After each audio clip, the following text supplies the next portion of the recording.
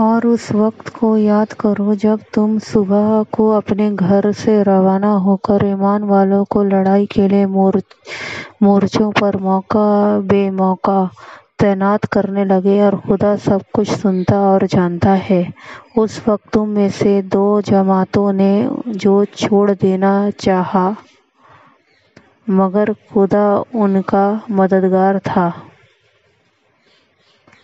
और मोमिनों को खुदा ही पर भरोसा रखना चाहिए और खुदा ने बद्र की लड़ाई में भी तुम्हारी मदद की थी, और उस वक़्त भी तुम बेसर व सामान थे। बस खुदा से डरो और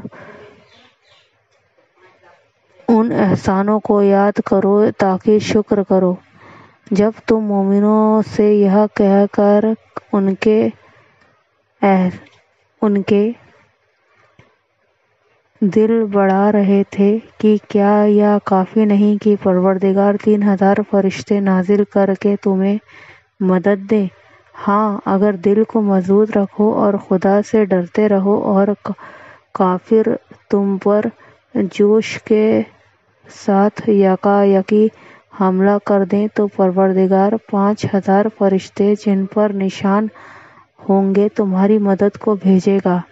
और उस मदद को तो खुदा ने तुम्हारे लिए बशारत, खुशखबरी का ज़रिया बनाया। यानी इसलिए कि तुम्हारे दिलों को उससे तसल्ली हासिल हो, वरना मदद तो खुदा ही की है, जो गालिब और हिकमत वाला है। या खुदा ने इस, या खुदा ने इसलिए किया कि काफिरों की एक जमात को हलाक या उन्हें जलील व मगलूब कर दे कि जैसे आए थे, वैसे ही नाकाम वापस जाएँ। ए पैगंबर इस काम में तुम्हारा कुछ अख्तियार नहीं अब दो शक्लें हैं, या खुदा उनके हाल पर मेहरबानी करे, या उन्हें अजाब दे कि ये जालिम लोग हैं और जो कुछ आसमानों में है और जो कुछ ज़मीन में है, सब खुदा का, खुदा ही का है। वह जिसे चाहे बख्श दे और जिसे चाहे अजाब करे और खुदा बख्शने वाला मेहरबान है।